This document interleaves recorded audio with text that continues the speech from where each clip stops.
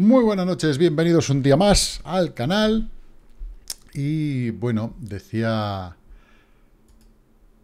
decía Abraham Lincoln que ningún hombre es demasiado bueno para gobernar a otros sin su permiso. Y sin embargo, nosotros estamos dejando que nos gobiernen sin nuestro permiso y gente que no hemos elegido. Tremendo. Es decir, la mayoría votante elige a alguien que al final resulta que gobierna como quiere, donde quiere, cuando quiere, con quien quiere, y esas minorías a las que nadie quiere son las que gobiernan. Flipante. En fin, pero ¿sabéis por qué pasa? Mm.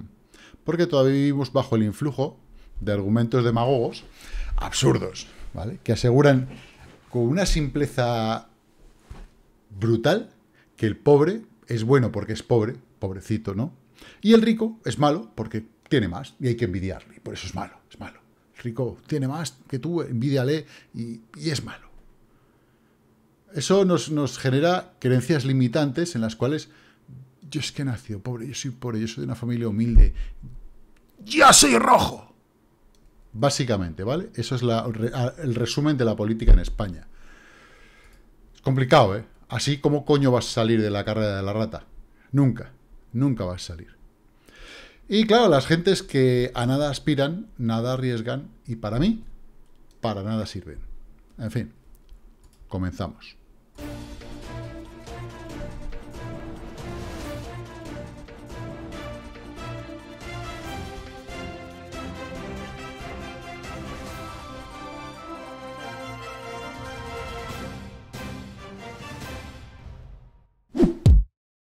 Suscríbete y dale a la campanita.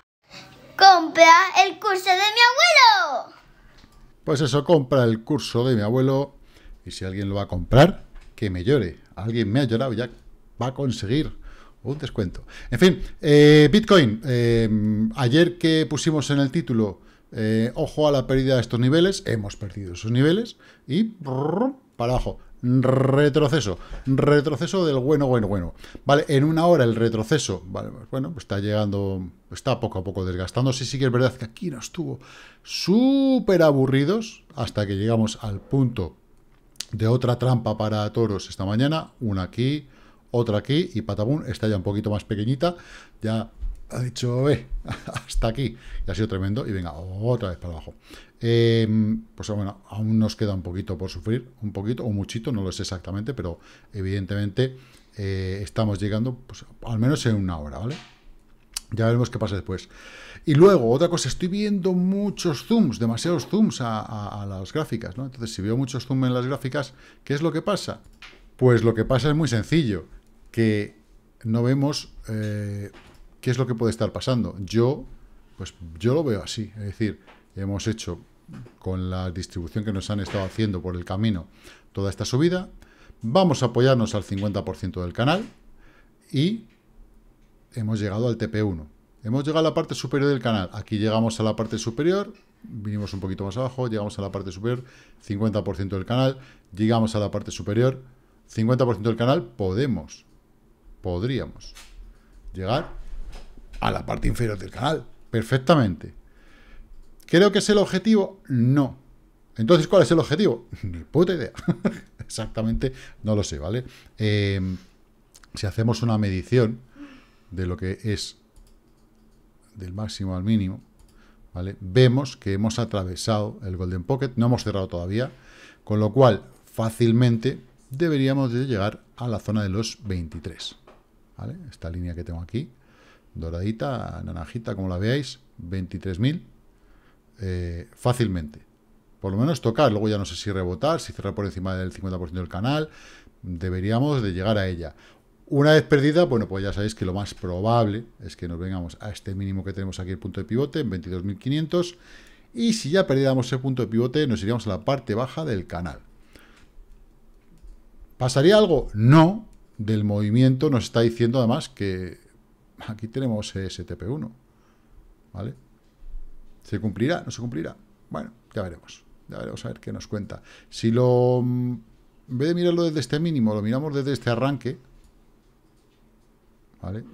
Quizás nos cuadre hasta un poquito mejor, 50% del canal, zona de soporte, aquí, aquí, aquí, está la que os dije ayer, ¿vale? Que debería de funcionar como soporte, vamos a ver si lo cumple, ¿recordáis? Estos tres cierres, eh, coincide con el 50% del canal, coincide con alguna línea que no tengo en esta, en esta gráfica, y estaría bastante bien, si no, 1, 21 Kini, 2, parte inferior del canal, coincidiendo antes de este mínimo relativo, que este sí es importante. Este no es tan importante, pero este de aquí sí empieza a ser importante. Y este importantísimo.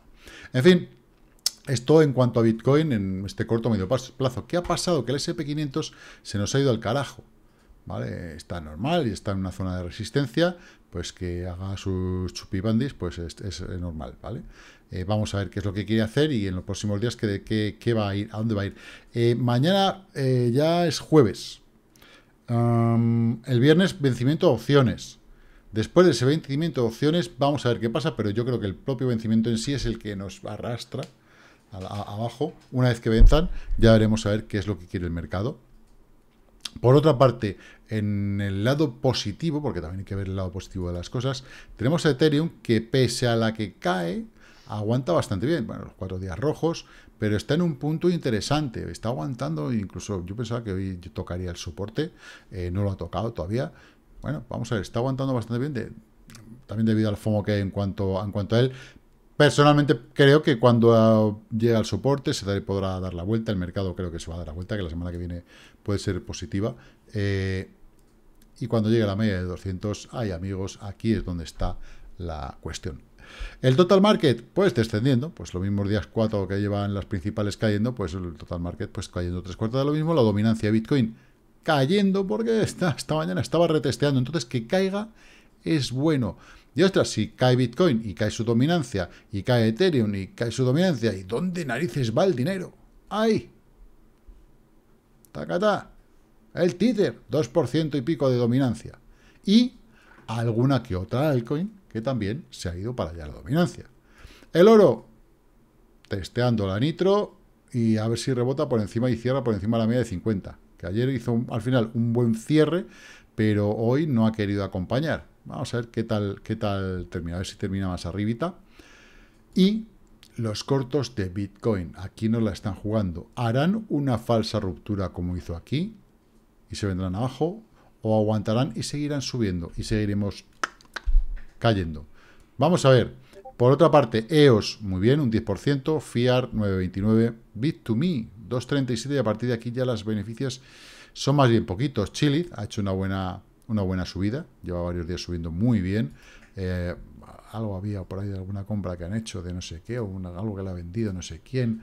Eh, no sé, como yo digo campanas, pero no tengo ni idea, prefiero no abrir la boca. En cuanto a los, los eh, pares contra Bitcoin, pues QLC lo ha hecho muy bien, EOS, igual que lo ha hecho contra el dólar, lo ha hecho muy bien también contra Bitcoin, Atom, muy bien, Chili, XVS, ONT, o sea, ha habido varias que han estado bastante bien. SIS empieza a despertar esta zona de suelo contra Bitcoin. Eh, ha estado haciendo, pues bueno, esta subidiña. Yo creo que se meterá otro castañazo, por lo menos hasta la zona de soporte. Posteriormente ya veremos a ver cómo aguanta. Si aguanta bien, quizás nos podamos ir a la media de 200. Estamos hablando contra Bitcoin. ¿vale? Recordar que eh, yo personalmente estoy dentro de si es de las pocas altcoins que pueda tener y más contra Bitcoin. Eh, eh, y si estoy con ella, sí, sí, no me he olvidado. no penséis que me he olvidado de ella, ni mucho menos.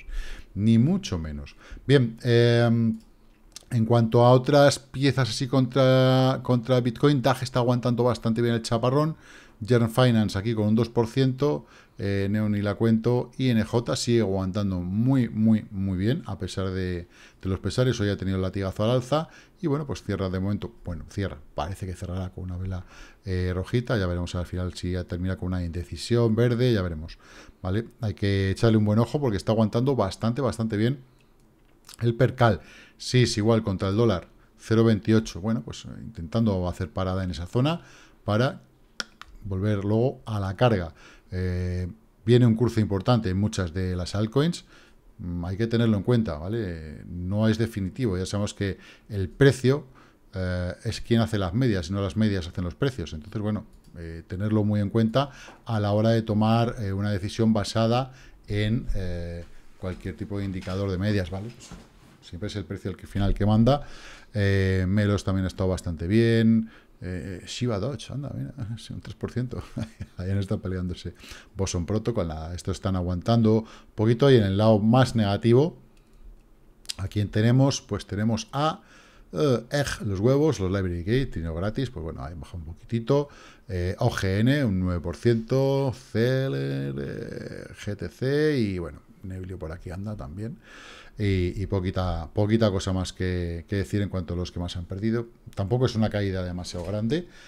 Eh, así que bueno, eh, simplemente es cuestión de esperar, de tiempo, de que se recomponga todo y de volver al alza. Recordar muchas veces que aunque estemos eh, viendo gráficos de una hora, de cuatro, veamos estas catástrofes, decir, joder, este triángulo se ha perdido ya, pero es que este, o esta especie, de esta cuña, ¿vale? Esta cuña vendrá, viene para hacer una corrección, que luego nos, yo creo que nos va a volver a llevar al alza, pero, pero, tenemos que ver dónde estamos realmente, cuál es el, camino que estamos siguiendo, cómo ha sido, ¿vale? Con estas distribuciones importantes, cómo ha sido el camino eh, y dónde nos puede llevar cuando venga un cataplón importante. También, cuál es el objetivo de este camino. Para mí, vuelvo a insistir, sé que soy un poquito pesado, pero como mínimo los 23.6, los 26.6 y debería de ir a tocar una resistencia que no ha tocado todavía.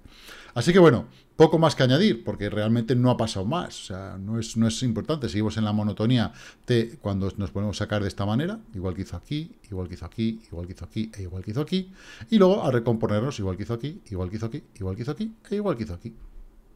No hay más tu tía. Que al final resulta que sea el inicio de una caída más grande. Pues habrá que aguantar el chaparrón y buscar las oportunidades. Yo creo que los precios que nos está dando vuelven a ser una nueva oportunidad. Pienso que la zona de 22 y medio, eh, veis que tengo aquí la línea tirada, es una zona súper importante y que nos va a dar justo el punto de rebote. Eh, no sé si en un día, si en dos días, si hoy. Que si el viernes tenemos un cataplón importante, puede llegar a, tocar la parte inferior del canal. De hecho, desde donde estamos ahora hasta ese punto es un 7, un casi un 8%. No es nada del otro mundo, ni mucho menos. Estaríamos desde máximos que hemos hecho eh, en torno a una corrección del, eh, más o menos, ¿vale? Del 15, casi 16%. Entre el 11 y el 16% es una corrección muy, muy, muy, muy típica de Bitcoin. Eh, el ancho del canal es el que la lleva, además. Aquí fue del 15 y pico, Aquí el, el ancho del canal se mantuvo, eh, fue del 15 casi de 16. Aquí ya nuestra corrección fue menor, ¿vale? Entonces, bueno, 14.72.